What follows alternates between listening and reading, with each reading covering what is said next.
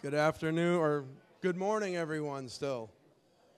We're going to get started.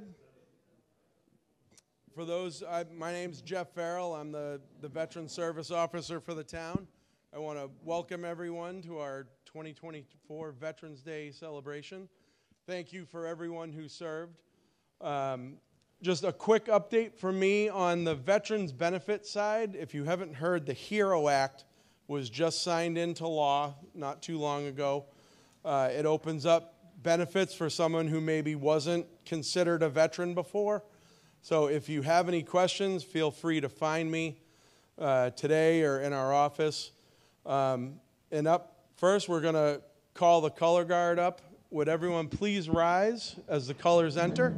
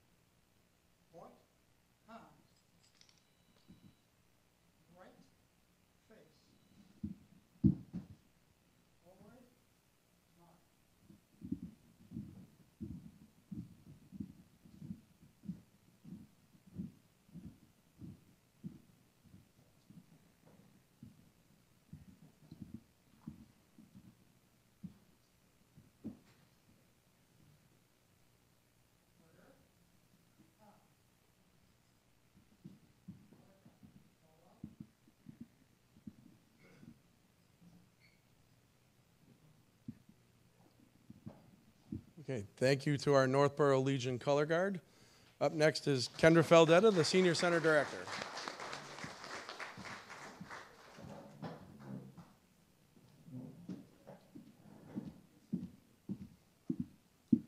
I know, I know. I took the step uh, instead of climbing up the ramp like I encourage everyone else to do. So uh, please be seated.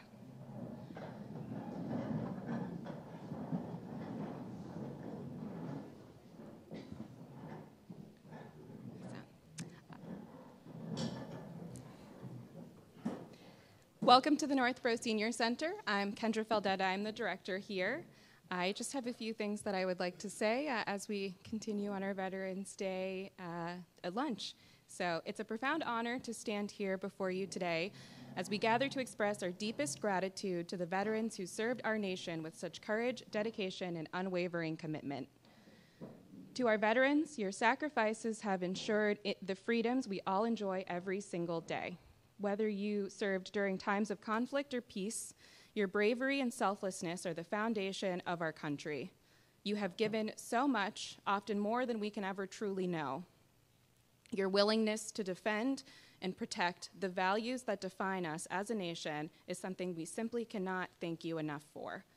We often hear the word sacrifice when we speak about our veterans, but I think it's important to reflect on what that truly means. Sacrifice isn't just about the time you served in uniform or the battles you may have fought. It's about the birthdays and holidays you missed, the times away from loved ones, and the countless memories, uh, the countless moments where you put the mission ahead of your own needs. It is, it is about the lifelong impact that service has had on you and your families. These sacrifices that most of us will never fully understand, but we certainly honor. You have shown us the true meaning of service. You've stood up for what's right You've been resilient in the face of adversity. You've exemplified what it means to serve a greater cause than oneself. For that, you are our heroes, not just, not just in words, but in action. You are the reason we can live in a country where liberty, opportunity, and justice prevail. As we gather today, I want to remi- remind us all that expressing gratitude to our veterans should not be limited to ceremonies or designated days, that freedoms we hold de- so dear come from your sacrifices, and it is our responsibility as a community to carry forward the values you fought for. We must honor veterans every day through our actions by ensuring that you receive the support, care, and recognition you so rightfully deserve. Today is not just about remembering the past, but about looking forward to the future with the lessons you've given us. You've shown us that sacrifice, honor, and duty are not just words, but values to live by. You are the living embodiment of those principles. In the words of John F. Kennedy, as we express our gratitude, we must never forget that the highest appreciation is not to utter words, but to live by them. Let us all be inspired by your example and live in a way that honors the sacrifices you have made. We have so much to learn from you about courage, commitment, and community. So, today, on behalf of everyone here, I want to say thank you. Thank you for your service. Thank you for your sacrifices, and thank you for showing us what it truly means to be an American. Your service will never be forgotten, and your legacy will continue to inspire us for generations to come. Thank you from the bottom of our hearts for all that you have done and continue to do.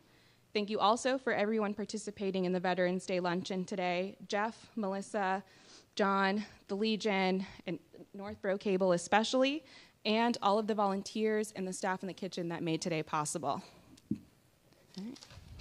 Thank you.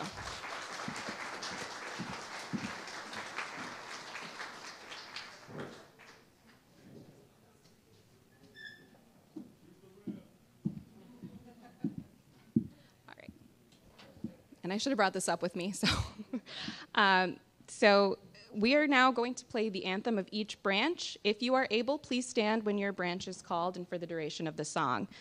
Um, and we are going to start with the Army Anthem.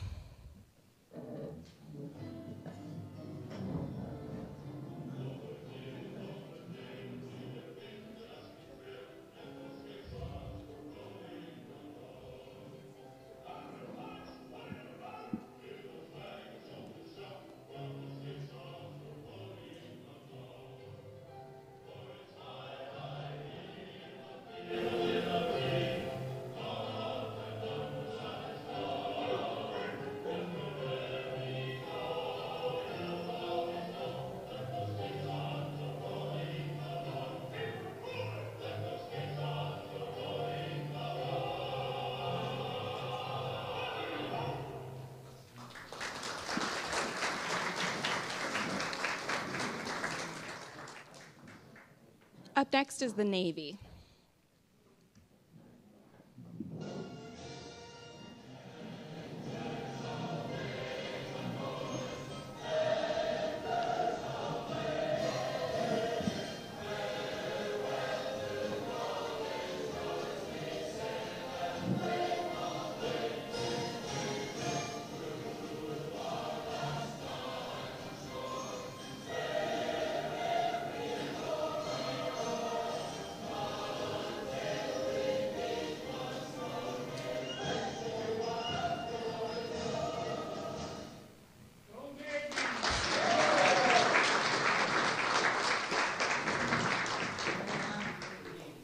Next is the Marines.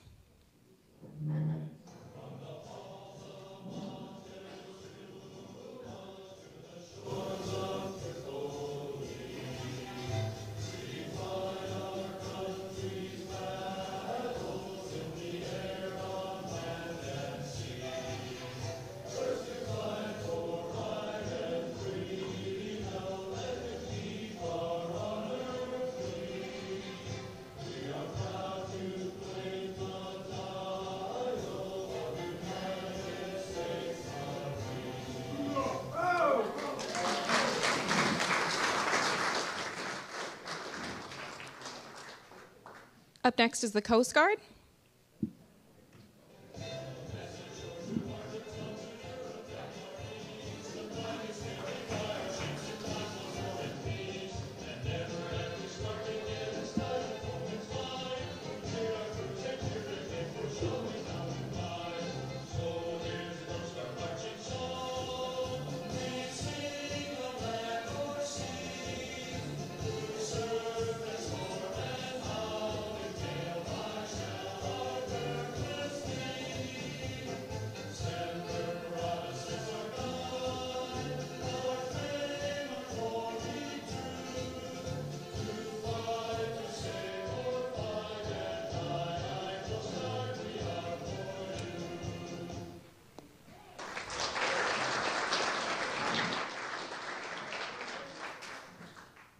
And last but not least is the Air Force. I'm sorry, I'm sorry. Someone has to go last.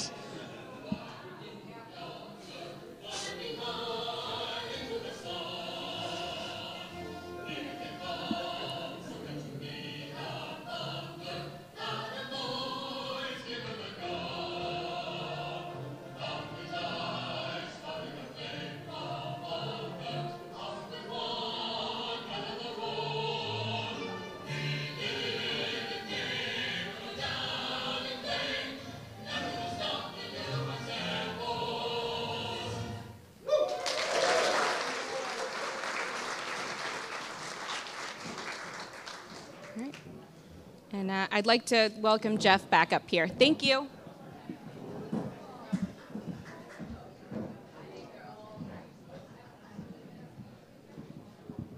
Okay, so don't worry, you don't have to listen to me speak again this year. Uh, I'm going to in- introduce Melissa Longren, our speaker. Um, she enlisted in the U.S. Army Reserves in 2018 as a behavioral health specialist um, with the 804th Medical Detachment. Uh, she served six years and is currently a Northborough police officer. Um, and I also saw she's a mother of two. So if we can introduce Melissa up to give her presentation, the mic is yours.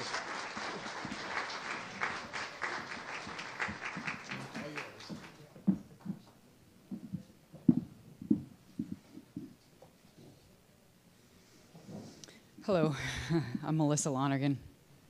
I want to start today with a thank you and an immense amount of gratitude for your introduction and for the honor of an invitation to speak before you all. I want to thank Kendra Feldetta, the director of this beautiful senior center of Northborough.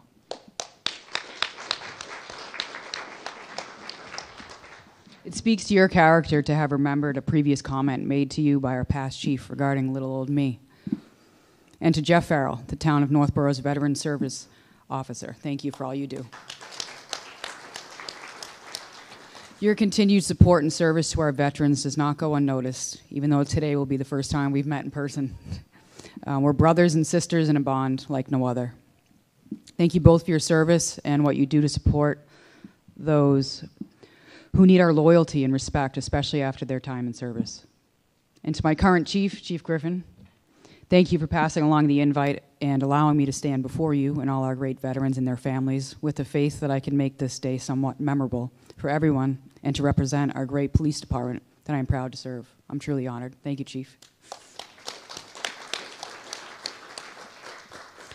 To all the veterans and their families present here today, Gold Star families, and their survivors who are here, thank you from the deepest, most vulnerable place in my heart for your service.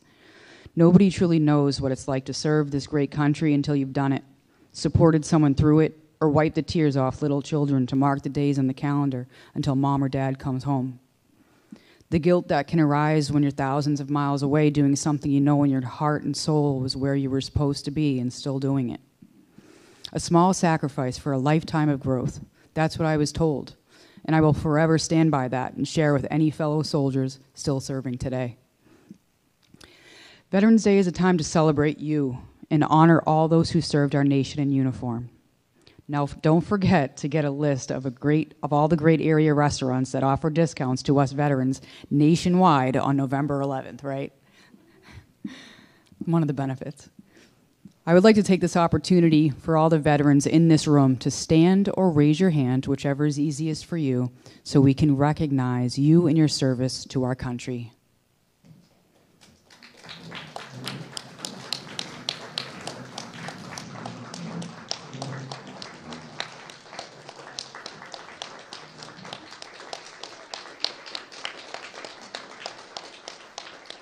Thank you all. Now for a little history. Veterans Day was originally called Armistice Day. Hostilities in World War I ended at the 11th hour of the 11th day of the 11th month of 1918 when the peace agreement with Germany went into effect. Armistice Day began as a celebration of recognizing the victory of the Allied forces of World War I. It was renamed Veterans Day by President Dwight Eisenhower in 1954 and is now dedicated to veterans of all wars. So today, we honor all our veterans who unselfishly placed their lives on the line for our freedom.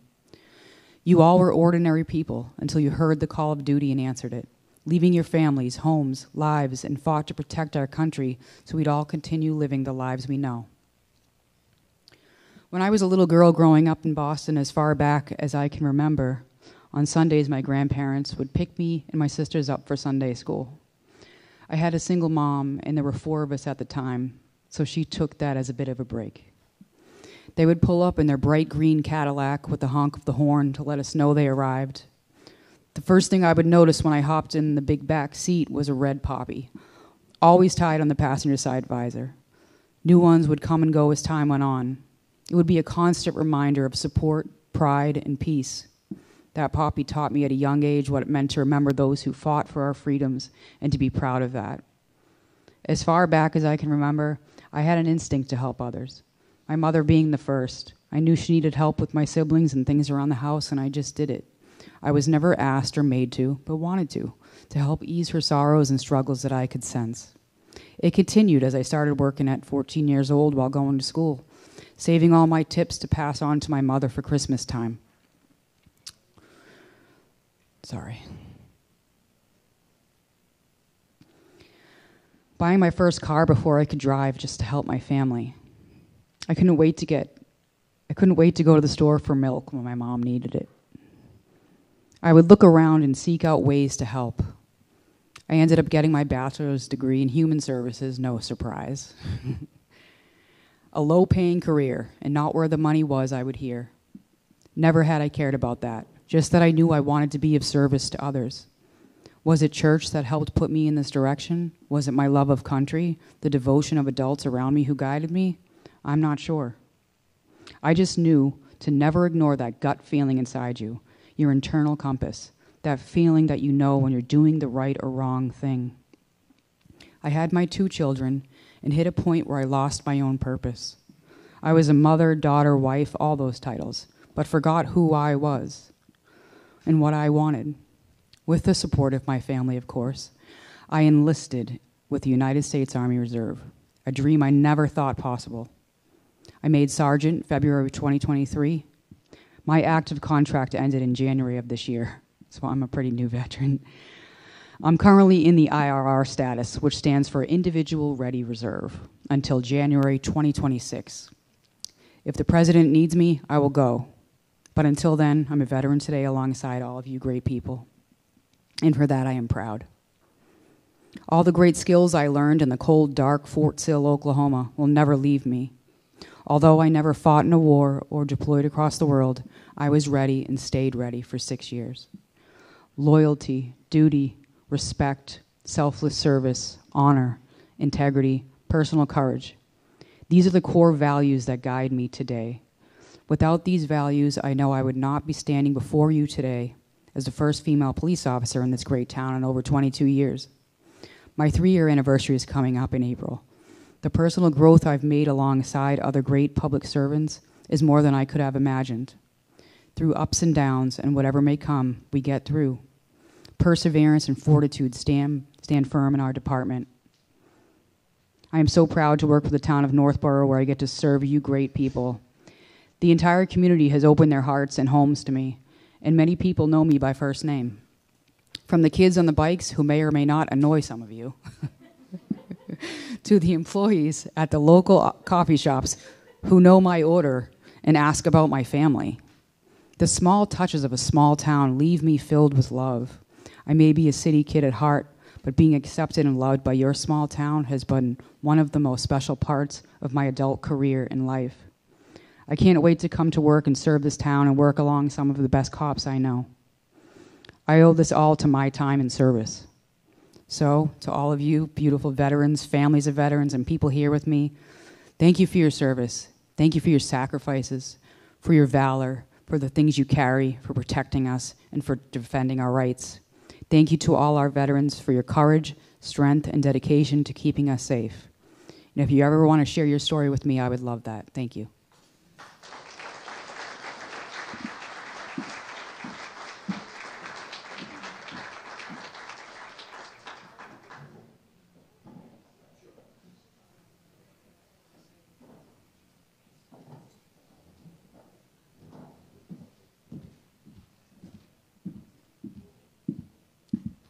So before we carry on with lunch, uh, we have Dr. John Zawacki who's here to do the benediction. Uh, he is, for those that don't know, uh, one of the kindest, most humble man- men that I have been so lucky to meet in my time here. Uh, we don't see each other very often, but uh, he will never say so. But he's a, a wonderful, wonderful person, and we're very lucky to have him here today.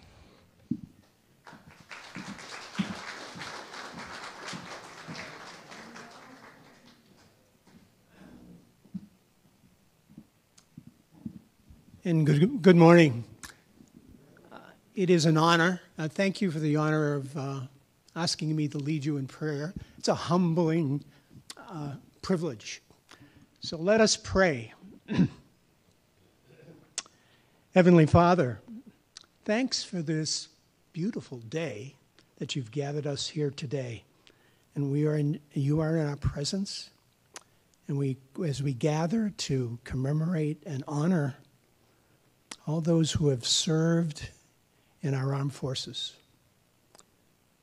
Father, we especially commend to you the souls of those who have made the ultimate sacrifice for our beloved country.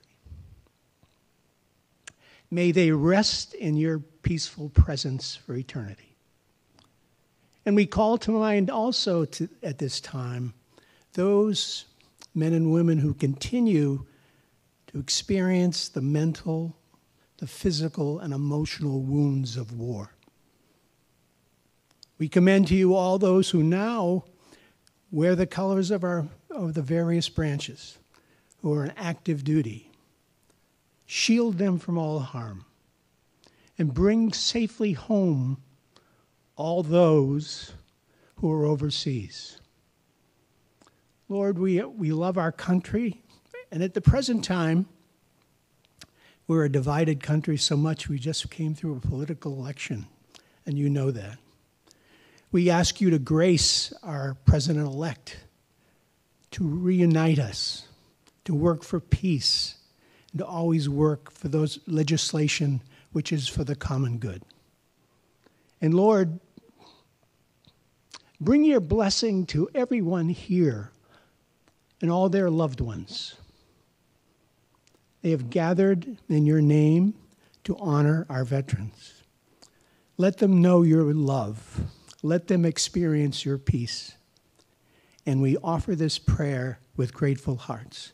But we cannot forget all those people who prepare this meal, who serve this meal, and we give thanks for them. And in your name, amen.